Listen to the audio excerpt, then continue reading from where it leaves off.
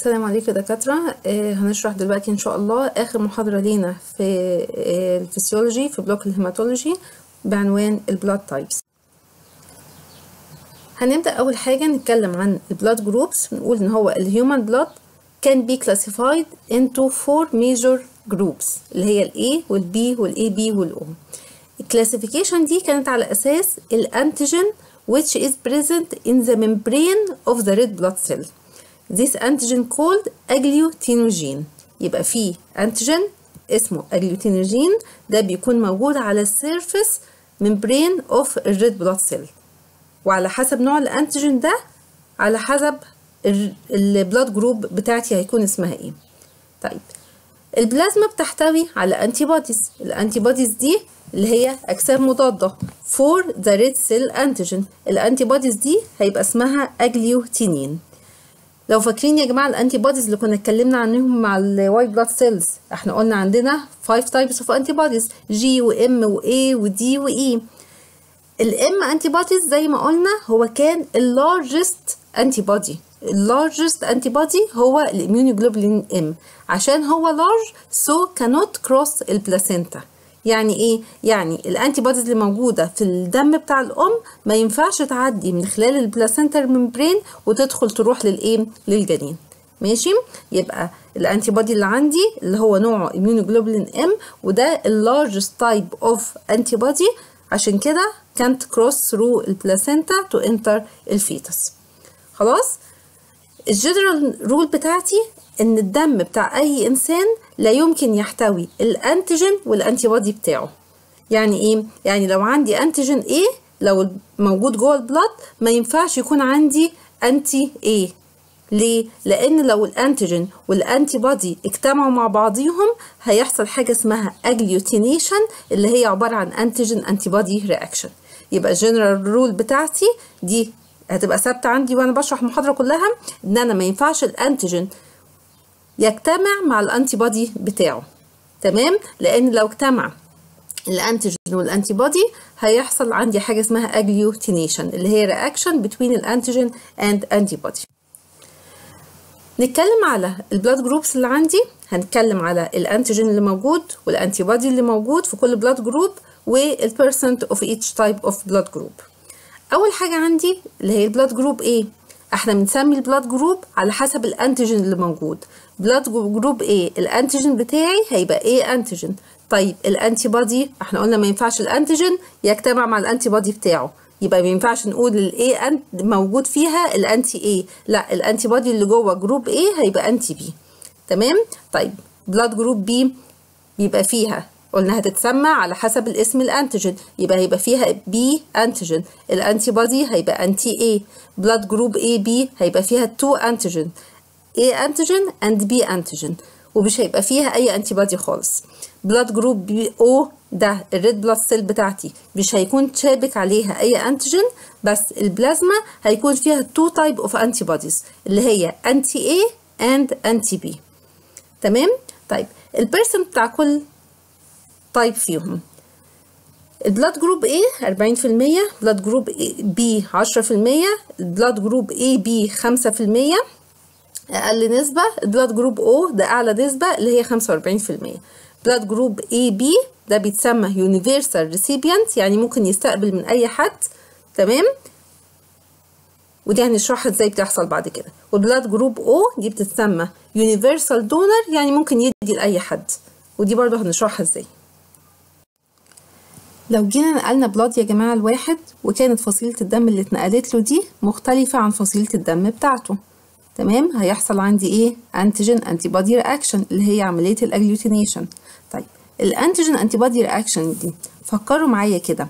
حصل reaction between ال antigen of the donor and antibody of the recipient ولا العكس؟ يعني ال antigen of the recipient and antibody of the donor نقول اللي بيحصل عندي إن هو بيحصل reaction between ال antigen of the donor and antibody of the recipient. زي ما أنتم شايفين كده شوفوا المثال اللي قدامكم ده يا جماعة اللي هو في المربع اللي قدامكم ده. لو مثلا نقلنا blood group A لواحد الفصيلة بتاعته blood group B.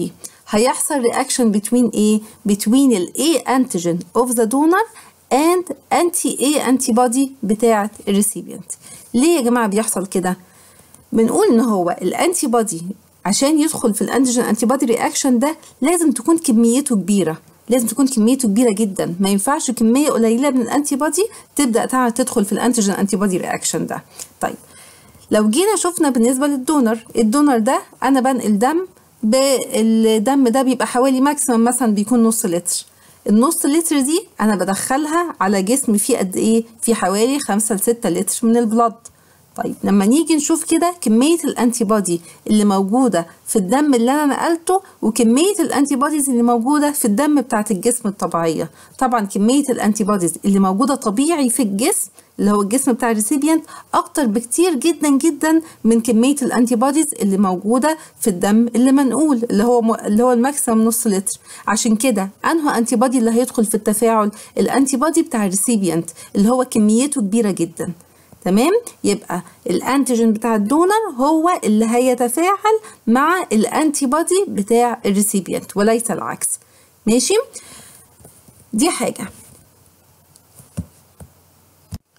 تاني حاجة بقول إن هو مش مجرد ال antibody بتاع ال donor ده بتكون كميته قليلة قوي فبيبقى حصل له marked diluted لما يدخل جوه ال blood بتاع ال recipient وبالتالي فمش هيدخل في التفاعل. لا ده ال antigen بتاع ال donor ده بيحصل له neutralization بيتعادل ببعض ال free antigen in the recipient blood. يعني إيه free antigen إحنا بنقول ال antigen ده بيكون موجود في ال red blood cell membrane طيب لما يحصل rupture لبعض ال red blood cells طبيعي إن بعض ال red blood cells بتتكسر طول ما هي ماشية في ال circulation ال antigen اللي كان شابك في ال membrane بتاعها ده بيبقى free في ال blood ال free antigen ده لو دخل له ال antibody بتاعه هيحصل neutralization between ال antibodies اللي دخل ده و between ال free antigen طب هل ده فيه مشكلة؟ لا ما فيهوش أي مشكلة، ليه؟ أنا مشكلتي لما يكون ال antigen ده شابك في ال red blood cell، زي ما أنتوا شايفين الصور اللي تحت يا جماعة.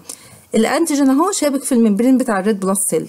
ال antibodies بتاعه لما بيدخل وبيكونوا موجودين مع بعض كل antibodies ممكن يشبك بأكتر من antigen يعني إيه؟ هيحصل agglutination يعني هتتجمع ال red blood cell مع بعضيها هتكون لي كتلة كده.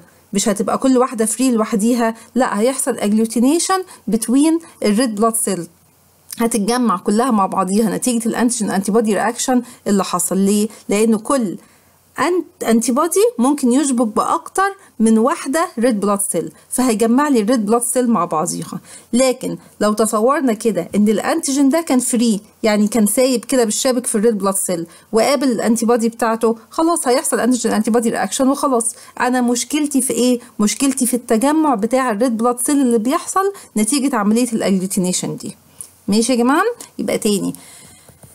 لما بيحصل عندي antigen antibody reaction بيحصل between ال antigen of the donor and ال antibody of the recipient ليه؟ لأن ال antibody of the recipient أول حاجة بيبقى markedly diluted by the recipient blood بيتخفف قوي وما دام كمية ال antibody اتخففت وبقت قليلة مش هتشتغل مش هيبقى ليها أي تأثير تاني حاجة markedly neutralized هيتعادل by free antigen present in the recipient blood وخلاص مادام ال antigen ده free يبقى مش هيأثر عندي. خلاص؟ طيب. ال blood group O بنقول عليها universal donor ليه؟ لأن قلنا اللي بيتفاعل هو ال antigen بتاع ال donor ال blood group O ما فيهاش أي antigen خالص فعشان كده بعتبرها universal donor ممكن تدي لأي حد لأن ما فيهاش ال antigen اللي هو ممكن يتفاعل. عكس كده blood group AB ال blood group AB دي ما فيهاش أي antibody واللي بيتفاعل هو ال antibody بتاع ال recipient عشان كده بعتبرها universal recipient ممكن تاخد من أي حد ممكن تاخد من نفسها أو من أي blood group تانية. ليه؟ لأن هي ما فيهاش antibodies ال antibodies بتاع ال recipient هو اللي بيتفاعل. طيب هي ال blood group AB ما فيهاش أي antibody خالص عشان يتفاعل. عشان كده ممكن تاخد من أي حد. تاني الجدول ده يا جماعة أهو ال blood group AB universal recipient. ممكن تستقبل من أي حد. ليه؟ عشان ما فيهاش أي antibodies ال antibodies بتاع ال recipient هو اللي بيتفاعل. ما دام ال blood group AB عندي ما فيهاش أي antibodies يبقى ممكن تاخد من أي حد. مش هتتفاعل مع أي حد. عشان كده حتى نسبتها قليلة. احفظوها كده يعني دي 5% عشان دي blood group أنانية. ما بتديش حد خالص غير نفسها. بتدي blood group AB بس بتاخد من نفسها ومن كل ال groups التانية. العكس بقى blood group O دي ما فيهاش أي antigen بس فيها antibodies بس. ال antigen بتاع ال donor هو اللي بيتفاعل. طب هي ما فيهاش antigen خالص فعشان كده ممكن تدي لأي حد blood group كريمة. ممكن تدي لأي حد هتدي blood group O وهتدي لأي blood group تانية. عشان كده بتتسمى universal donor وعشان هي كريمة كده نسبتها كبيرة نسبتها حوالي 45% من ال blood cells تاني موضوع هنتكلم فيه اللي هو ال blood Rh system ال Rh factor أول ما اكتشفوه اكتشفوه في نوع من أنواع القرود اسمه ال rhesus monkey عشان كده سموه Rh factor ده عبارة عن antigen بيكون موجود على ال membrane بتاع ال red blood cell بيكون موجود في 85% من ال population دول بيتسموا Rh positive واللي ما عندهوش ال Rh factor بيبقى اسمه Rh negative اللي هم النسبة الباقية اللي هي 15% ما دام قلت antigen يبقى يبقى فيه antibody ال antibody بتاع ال RH factor اللي هو anti RH antibody ده الطبيعي إن هو ما بيكونش موجود خالص سواء في ال RH positive أو في ال RH negative person يعني الطبيعي إن الجسم بتاعنا ما يكونش فيه أي RH antibody النوع بتاع ال RH antibody ده immunoglobulin G ده عبارة عن سمول immunoglobulin لو فاكرين ده very زي ما قلنا في محاضرات ال white blood cells ال immunoglobulin G ده ده very small antibodies وعشان هو سمول ممكن يعدي من خلال ال placenta ممكن يعدي من خلال المشيمة. وهنشوف مشكلته في إيه ده بعد كده. طيب بنقول إن هو الطبيعي سواء كان الإنسان ده RH positive أو RH negative الطبيعي إن الدم بتاعه ما يكونش فيه أي antibodies ال antibodies دي بتتكون إمتى؟ بتتكون في حالتين. أول حاجة لو الشخص ده RH negative واتنقل له RH positive blood يعني حصل transfusion to RH positive blood to an RH negative person تمام؟ تاني حاجة لو كان عندي pregnant mother لو كانت الأم عندي RH negative وال baby بتاعها RH positive ودي هنشرحها برضو بعد كده إزاي بيتكون antibodies جواها. يبقى الطبيعي إن هو ال anti RH antibody اللي هو النوع بتاعه immunoglobulin G اللي هو very very small in size وممكن يعدي من خلال ال placenta الطبيعي إن ال antibody ده ما بيكونش موجود في الدم بتاعنا خالص سواء كان الشخص ده RH positive أو RH negative بيكون في حالتين لو حد RH negative واتنقل له RH positive blood وتاني حالة لو أم RH negative وكانت pregnant ال baby بتاعها كان RH positive أول حالة اللي هي لو حصل عندي نقل لدم RH positive لواحد RH negative هيبدأ يحصل إيه؟ الدم الجسم بتاعه هيبدأ يكون bodies اللي هي ال anti RH anti ال antibodies اللي هتتكون دي مش بتتكون spontaneous كده في لحظة لا دي بتاخد وقت كده عقبال ما بتتكون. بتاخد فترة عقبال ما بتتكون. ماشي لغاية ما توصل لل level عالي اللي هو هيبقى فيه خطورة إن هي يحصل منها إيه؟ agglutination عشان كده بنقول الخطورة اللي أكبر بتكون إمتى؟ لو نفس الشخص الشخص ال RH negative اللي اتنقل له positive blood ده اتنقل له RH positive blood مرة تانية. في الحالة دي هيبقى إيه؟ هتبدأ ال antibodies تزيد أكتر وتبقى نسبتها كبيرة لدرجة إن هي هتبدأ تعمل إيه؟ agglutination اللي هي ال antigen antibody reaction تاني حالة اللي هي لو كانت RH negative female married to RH positive male في ال most cases هيبقى ال fetus الجنين هيبقى إيه؟ RH positive. تمام؟ في وقت الولادة some of the red blood cell اللي هي بتحتوي ال RH antigen بتاعت ال baby لأن هو RH positive بعض ال red blood cells دي هتدخل من خلال ال placenta لجوه الدم بتاع الأم. تمام؟ الطفل كده هينزل سليم ما فيهوش أي مشكلة. بس المشكلة إن بعض من الدم بتاعه اللي هو RH positive هيدخل لجوه ال circulation بتاعة الأم. الأم هتبدأ تستجيب لكده بإيه؟ إنها تكون antibodies anti RH antibodies against الدم اللي دخل لها ده. ال anti RH antibodies هيبقى فيه مشكلة على الأم؟ مفيش مشكلة. خلاص لأن الأم دي RH negative أساسا فصحيح موجود ال antibody لكن هي ال antigen مش عندها أصلا يعني فالأم مش هيحصل فيها أي مشكلة. المشكلة في إيه؟ لو جت نفس الأم دي حملت للمرة الثانية لو جيت pregnant again ال fetus بتاعها لو كان RH positive ماشي؟ ال RH positive fetus ده هيبدأ الدم بتاع الأم بما يحتويه من antibodies هيدخل لجوه ال fetus.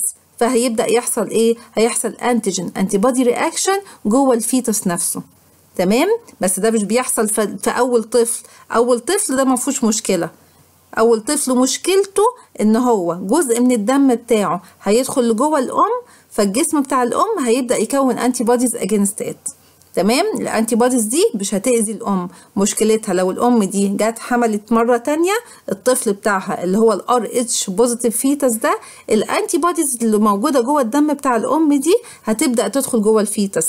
لو فاكرين إحنا قلنا إن هي نوعها إيه ال antibodies يا جماعة نوعها immunoglobulin G اللي هي ال smallest type of antibodies فممكن تعدي بسهولة. من خلال ال placenta تدخل لجوه الايه تدخل لجوه ال fetus. ماشي؟ هتدخل لجوه ال fetus وبعدين هيحصل عندي antigen antibody reaction لأن ال fetus بتاعي ده RH positive طيب أنا بقول أول طفل عندي هل أول طفل عندي ده دايما بيعدي كده في أمان؟ هيعدي في أمان. لو الأم RH negative وهو RH positive هيعدي في أمان مفيش مشكلة. المشكلة عندي لو كانت الأم دي اتنقل لها RH positive blood قبل كده. فالدم بتاعها بيحتوي على ال antibodies من غير حمل. يعني أنا بقول تاني طفل جاله الانتي بوديز اللي اتكونت نتيجة دخول الدم بتاعة أول طفل للأم. طيب الأم دي لو كانت نقل لها دم قبل كده وجواها انتي بوديز حتى لو ده أول حمل ليها الانتي بوديز اللي هي كانت متكونة جوه جسمها نتيجة نقل دم غلط قبل كده هتبدأ تدخل لجوه الفيتس دي وتعمل لي برضو انتيجين انتي بودي رياكشن بس دي لازم بتاخد وقت يا جماعة لازم يكون اتنقل لها دم حوالي مثلا من 3 ل 6 شهور قبل عملية الحمل عشان تبدأ الانتي بوديز تزيد لمرحلة تقدر تأذي الطفل.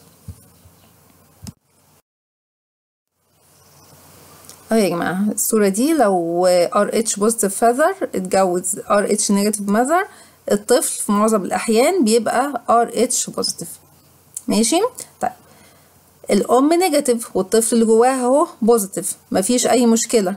المشكلة هتيجي في وقت الولادة بيكتشر نمبر سي وقت الولادة هيبدأ بعض من البوزيتيف بلاد بتاع الطفل هيدخل لجوه الدم بتاع الأم. الطفل هيبقى نزل خلاص بس بعض من الدم بتاعه البوزيتيف هيدخل لجوه الدم بتاع الأم. هتبدأ تتكون عندي الانتي بوديز الدم بتاع الأم هيبدأ يكون عندي هو نيجاتيف صحيح بس هيبدأ يكون انتي بوديز نتيجة الدم اللي دخله من الطفل. ماشي؟ هيجي الحمل التاني بعد كده الانتي بوديز هتبقى جاهزة جوه الجسم بتاع الأم والطفل الجديد ده اللي هو لو كان ار اتش بوزيتيف هتبدأ الانتي بوديز تدخل جواه وتهاجمه مباشر على طول. الار اتش بوزيتيف فيتس اللي هو الأم بتاعته كانت اتش نيجاتيف ونقلت له الانتي بوديز هتحصل له مشكلة كبيرة جدا اسمها الريثروبلاستوزيس فيتاليس الطفل ده غالبا بيتولد ميت غالبا بيموت وهو لسه جوه الرحم ما بي ما بيعيش. ولو عاش بتبقى عنده كذا مشكلة. أول حاجة بيكون عنده سيفير انيميا ليه؟ لأن الريد بلاد سيل اللي اتجمعت حصل لها اجلوتينيشن وحصل لها انتيجين انتي بودي رياكشن إيه المشكلة إنها بتتجمع؟ أول مرحلة إنها بتتجمع بيحصل لها عملية الانتيجين انتي بودي رياكشن أو الاجلوتينيشن تاني مرحلة كل الريد بلاد سيل المتجمعه دي بتبدأ تتكسر بيحصل لها هيموليسيس فالطفل ده بيدخل في سيفير انيميا لأن الريد بلاد سيل بتاعته عمالة تتكسر. انيميا يعني نقص في الريد بلاد سيل تاني حاجة بيدخل في جوندس جوندس اللي هي الاكسسيف فورميشن اوف بيليروبين بيليروبين اللي هي الصبغة الصفراء اللي هي بتطلع من جوه الريد بلاد سيل الريد بلاد سيل بتتكسر بالزياده هتطلع كمية كبيرة من البيليروبين البيليروبين دي صبغة صفراء فالطفل بيبقى ظاهر عندي في صورة إيه الجلد بتاعه بيبقى لونه أصفر كده اللي هي اسمها إيه جوندس أو هيموليتيك جونتز اللي هو جونتز ناتج نتيجة الاكسسيف هيموليسيس اوف الريد بلاد سيل اللي هو مرض الصفرة. تمام؟ المشكلة اللي اكبر إن البيليروبين ده نفسه ممكن يعدي البلاد برين بارير ممكن يدخل لجوه لجوه البرين لما يدخل جوه البرين بيعمل لي برين دامج اللي هي اسمها إيه؟ كيرنكترس ماشي؟ يبقى مشكلة الطفل ده يا جماعة إن الريد بلاد سيل اللي حصل لها اجلوتينيشن دي اجلوتينيشن دي المرحلة الأولى. بعد كده بيبدأ يحصل لها هيموليسيس بعد كده بيبدأ يطلع منها البيليروبين البيليروبين ده هيخلي لونه أصفر. اللي هي الجوندس الصفرة. البيليروبين ده ممكن يعدي البلاد برين بارير هيروح على البرين يعمل البرين دامج اللي هو الكيرنكترس وبنقول إن هو غالبا الطفل ده بيموت قبل ما يتولد أصلا. إزاي نعمل prevention and treatment لعملية الاريثروبلاسوزس فيتاليس البريفنشن اول حاجة بقول ان ال RH negative female should never never never transfused with RH positive blood ما ينفعش واحدة RH negative female وانقل لها RH positive blood دي اول حاجة طيب تاني حاجة لو حصلت بقى المشكلة وهي كانت RH negative female واتنقل لها RH positive blood أو married to RH positive male أول حاجة المذر دي لازم بديها سنجل دوز اوف انتي دي انتي بودي بديها أنا انتي دي انتي بودي من بره. في خلال 48 ساعة من نقل الدم من البوزيتيف بلاد اللي دخل لها ده. ليه؟ عشان الانتي بودي اللي أنا بديهولها ده من بره بيعادل الانتيجين اللي دخل لها وبالتالي مش هدي الجسم بتاعها فرصة إن هو يكون انتي بوديز هو بكميات كبيرة. يبقى أنا بدي أنا انتي بودي من بره بس بكمية صغيرة. الانتي بودي اللي أنا اديتهولها ده بيعادل الانتيجين اللي كان دخل لها تمام؟ فبالتالي لما عادل الأنتيجين اللي موجود جوه جسمها ده جسمها خلاص مش هيكون مش هيبدأ هو يكون انتي بوديز اجينست الأنتيجين اللي دخل ده بكميات كبيرة. طيب لو ما اديتش أنا الانتي بوديز دي اللي هي الأنتي دي انتي بودي وحصلت المشكلة والأم دي كانت نقل لها اوريدي ار اتش بوزيتيف بلاد والفيتس بتاعها دخل في عملية الارثروبلاسوز فيتاليس و اتولد عندي. العلاج بتاعه هيكون إيه؟ لو اتولد عايش يعني بيتعمل له repeated exchange blood transfusion بأنه نوع من أنواع البلاد بديله RH negative blood جروب O. بديله ليه RH negative blood جروب O أول حاجة بلاد جروب O ده جنرال دونر هينفع مع أي نوع من أنواع البلاد. ليه بديله RH negative blood لو اديته RH positive blood ما هو هيتفاعل مع ال antibodies اللي جاله من الأم. ما أنا مشكلتي في الطفل ده إيه؟ إن هو جاله antibodies من الأم.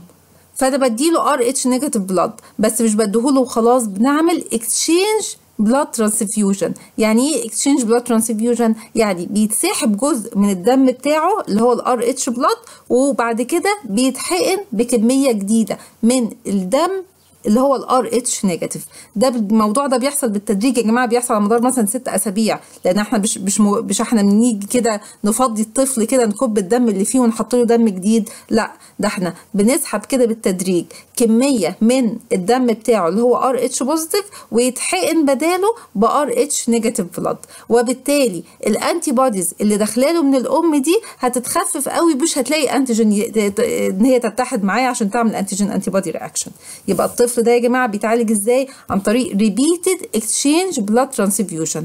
blood group نوع إيه RH negative O blood ليه O لأن ده general donor هينفع مع أي نوع من أنواع ال blood blood group RH negative ليه؟ عشان أنا باخد ال RH positive blood بتاعه باخده بسحبه منه كده بالتدريج وبحقن قصاده كمية مماثلة من ال RH negative blood ليه؟ عشان ال antibodies اللي موجودة في الدم بتاعه اللي هي جاية جاية له مع الأم ما تلاقيش antigen تتحد بيه. فمش هيحصل عندي agglutination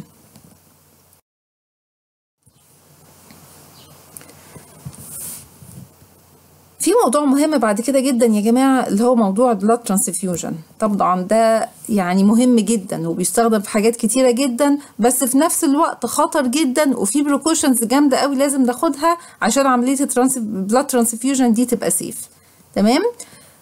ال indication of blood transfusion أول حاجة في حالة ال decrease blood volume لو ال blood volume اللي عندي قل زي في حالات ال hemorrhage بس مش أي hemorrhage مش مجرد مثلا واحد مناخيره نزفت أو تعور تعويرة بسيطة كده يبقى محتاج blood transfusion لا ده لو فقد أكتر من 20% من ال blood بتاعه يبقى هو كده محتاج إيه؟ محتاج نعوض ده بال blood transfusion تمام؟ تاني حاجة to restore one deficient blood element. لو عندي نقص جامد في أحد مكونات الدم بعوض كده بال blood transfusion مكونات الدم اللي عندي اللي هي إيه؟ اللي هي blood cells كلها. لو نقصت عندي ال red blood cell قوي زي في ال severe anemia لو الهيموجلوبين بتاعي قل عن 40% أو أقل.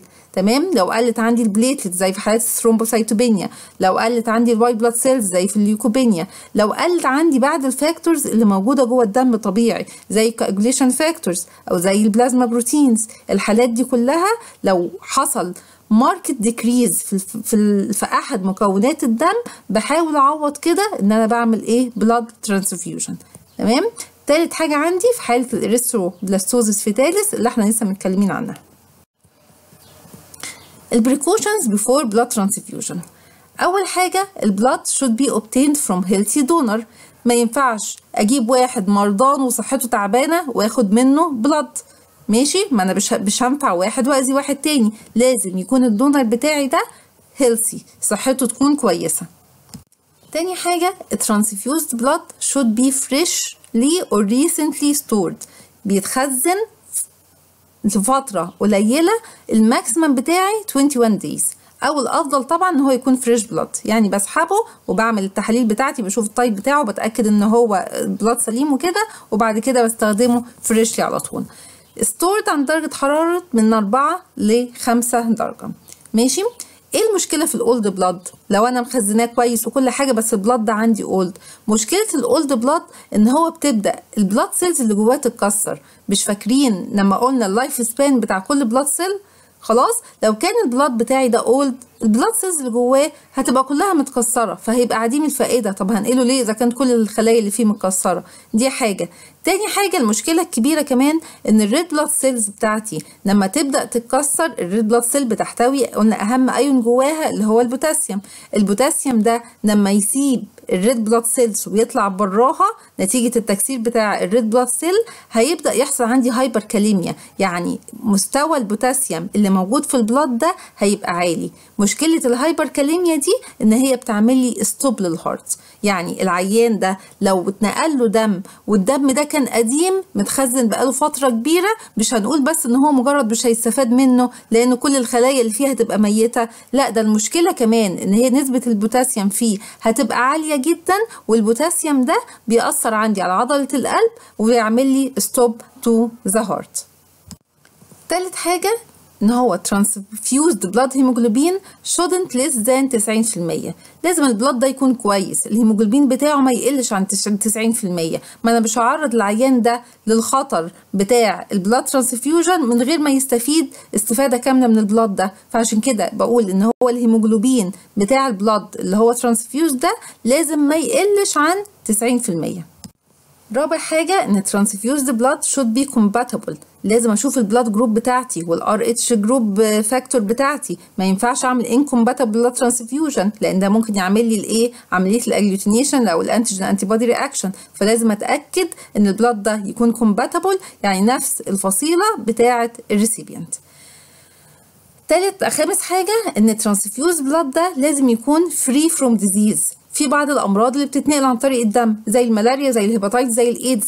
مش هينفع برضو انقل دم غير لما اتاكد إن الدم ده free تماما وما فيهوش أي disease آخر حاجة إن ال transfused blood ده لازم يكون free from any contamination. Contamination يعني blood نفسه نظيف بجمعه في أكياس نظيفة معقمة. ماشي؟ عشان ما ادخلش أي عدوى لل donor اللي هو لل recipient sorry اللي هو بيستقبل blood يبقى لازم ال blood بتاعي ده يكون free from any contamination عشان ما ادخلش أي عدوى لل recipient ال complication of blood transfusion عندي donor complications وعندي recipient complication donor الإنسان اللي أنا باخد منه الدم ده. ممكن يحصل له إيه؟ ال repeated transfusion ممكن تدخله في انيميا لو واحد كل شوية يتسحب منه دم كل شوية يتسحب منه دم هيدخل في انيميا طبعا ليه؟ الدم اللي بيتسحب ده هو ده كويس مفيد لأن الجسم بيبدأ يعوض ال blood cells اللي نقصت دي ويكون blood cells جديدة. خلاص عشان كده لازم يكون في gap على الأقل شهرين ما بين كل transfusion والتانية. ما ينفعش واحد كل يوم والتاني كده ينقل دم. ما هو الجسم بتاعه مش هي... مش هيلحق يعوض الفقد اللي حصل في ال blood cells خلاص لو حصل عندي repeated transfusion ممكن الإنسان ده يدخل في انيميا نتيجة نقص ال red blood cells الجسم بتاعه مش ملاحق يعوض الفقد اللي بيحصل في ال red blood cell بتاعته. تاني حاجة لو واحد جدع كده وقال لا اسحبوا مني اسحبوا مني وإيه؟ واتسحب منه كمية كبيرة من ال blood. هيدخل في إيه؟ هيدخل في shock طبعا لأن هيحصل marked decrease في ال blood volume ماشي؟ يبقى ال donor ممكن يدخل في أنيميا لو عمل repeated transfusion وممكن يدخل في shock لو قل عندي blood volume مرة واحدة نتيجة سحب كمية كبيرة من الدم منه. في بعد كده ال recipient complications اللي هي complications اللي ممكن تحصل للإنسان اللي هو بيتنقل له الدم. أول حاجة allergy حساسية بتظهر في صورة fever العيان وهو بيتنقل له الدم بيسخن مرة واحدة اتشنج بيبقى عمال يهرش shivering عمال يترعش جامد وهكذا. الحاجات دي كلها ال allergy أو التفاعل اللي حصلت الحساسية اللي حصلت دي بتكون نتيجة إيه؟ بتكون نتيجة المواد اللي هي بتضاف على ال blood ال blood اللي إحنا بننقله ده مش بيدخل جوه الجسم زي ما هو لا ده بيضاف عليه مواد كتير تانية. بيضاف عليه مواد تمنع التجلط بتاعه اللي هو حد حاجة anticoagulant بيتضاف عليه حاجات تظبط البي اتش بتاعته بيتضاف عليه جلوكوز عشان تعلي القيمة بتاعته. كل ال additive substance دي المواد اللي أنا ضفتها دي كلها ممكن تعمل allergy لما تبدأ تدخل جوه جسم الإنسان. تاني حاجة إن ممكن يحصل transmission of disease. زي ما قلنا في بعض الأمراض اللي بتتنقل عن طريق الدم زي الملاريا وال syphilis وال hepatitis والإيدز. الأمراض دي كلها ممكن تتنقل مع ال blood transfusion تالت حاجة عندي وأكبر حاجة وأخطر حاجة طبعا اللي هي مشكلة ال incompatibility. إن أنا بنقل فصيلة دم غير متوافقة. إن أنا بنقل دم من فصيلة دم مختلفة. في عملية ال incompatibility بيحصل أول حاجة زي ما قلنا إن هو بيحصل agglutination يعني antigen antibody reaction فبتبدأ ال red blood cell تتجمع. خلاص ال red blood cell اللي متجمعة دي ممكن تعمل لي block لل capillaries ال capillaries اللي هي رفيعة خالص دي ال red blood cell بعد ما بتتجمع على بعضيها ممكن تعمل لي block لل capillaries فهتعمل لي severe pain حسب بقى ال capillaries ده رايح فين هتعمل لي severe pain في المنطقة دي. ممكن تعمل لي block لل blood vessels بتاعت ال heart تدخلني في ischemia اللي هي الذبحة الصدرية. خلاص لو قفلت عندي blood vessels بتاعت ال heart تدخل في إيه؟ ischemia أو ذبحة صدرية. ممكن تعمل block لل blood vessels اللي رايح لل brain وهكذا. يبقى لو هي في المرحلة الأولى اللي هي مجرد agglutination مجرد ال red blood cell متجمعة دي ممكن تعمل لي مشكلة كبيرة جدا لأنها ممكن تعمل لي block لأي capillaries أو blood vessels دي أول حاجة. تاني مرحلة إن هي ال agglutinated red blood cell دي قلنا إن هي بيبدأ يحصل فيها hemolysis بتبدأ تتكسر.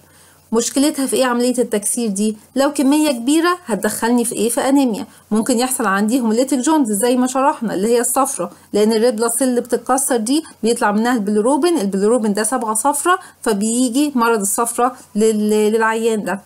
تالت حاجة إن أنا ممكن العيان ده يدخل في renal failure فشل في الكلى. ال renal failure ده سببه إيه؟ حاجتين. اولا الهيموجلوبين اللي طلع من ال red blood cell نتيجة ال hemolysis بتاعها ال free hemoglobin ده هيروح لل renal tubules هيعمل لها block هيسد لي ال renal tubules دي أول حاجة.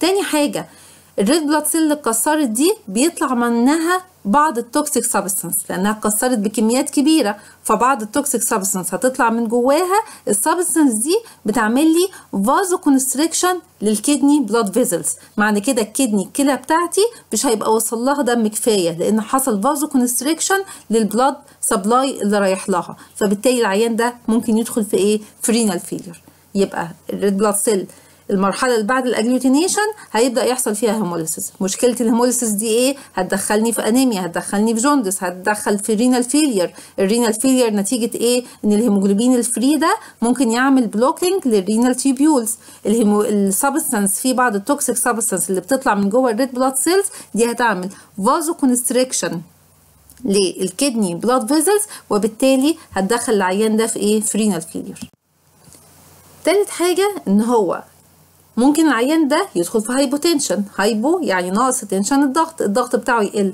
hypotension ليه؟ ال red blood cell بيبقى جواها هيستامين. لما بيحصل release للهستامين بكميات كبيرة كده الهستامين ده بيعمل vasodilatation بيوسع لي الأوعية الدموية. فبالتالي ممكن يدخل العيان ده في hypotension وإيه؟ و shock تمام؟ رابع حاجة إن ال red blood cell اللي بتتكسر دي بيطلع منها البوتاسيوم. إحنا قلنا أهم ايون موجود جوه ال red blood cell هو البوتاسيوم. لما البوتاسيوم يطلع بكميات كبيرة هيبقى في عندي hyperkalemia يعني زيادة في نسبة البوتاسيوم في الدم. ده مشكلته إيه؟ مشكلته إن هو ال hyperkalemia دي بتشتغل على عضلة القلب وتعمل لي arrhythmia الأول يعني عدم انتظام في ضربات القلب وبعد كده العيان ده ممكن يدخل في إيه؟ في cardiac arrest يعني عضلة القلب بتاعته تقف خالص. خامس حاجة نتيجة ال hemolysis بتاع ال red blood cell هيبقى في زيادة عندي في ال free hemoglobin. دي شرحناها قبل كده يا جماعة مع ال red blood cell ال free hemoglobin ده مشكلته إيه؟ أول حاجة هيزود ال viscosity بتاعة ال blood وده يعتبر overload على عضلة القلب لأن أنا بيعمل pumping لحاجة ال viscosity بتاعتها عالية. تاني حاجة هيزيد عندي ال blood volume نتيجة زيادة ال colloidal osmotic pressure فهيمتص fluid أكتر من ال tissue فهيزيد عندي blood volume وده برضو بيمثل overload على ال heart وبالتالي العيان ده ممكن يدخل في النهاية في إيه؟ في heart failure آخر حاجة لو حصل transfusion to excess amount of blood يعني لو العيان ده نقلت له كمية كبيرة جدا من ال blood over transfusion هيزيد عندي ال blood volume تمام؟ فده برضو هيبقى load على عضلة القلب فبالتالي العيان ده ممكن يدخل في إيه؟ في heart failure ماشي؟ زي ما شايفين يا جماعة عملية ال blood transfusion هي ممكن تبقى طبعا life saving وتنقذ الحياة وكل حاجة بس ال complications بتاعتها كبيرة جدا جدا جدا. فقرار إن هو العيان ده يتعمل له blood transfusion بالسهل لأن إحنا بنعرضه ل risk كبيرة جدا. اللي هي بس إحنا بس ممكن في بعض ال precautions اللي بتتاخد عشان نحاول نقلل ال risk بتاعة ال blood transfusion. ماشي؟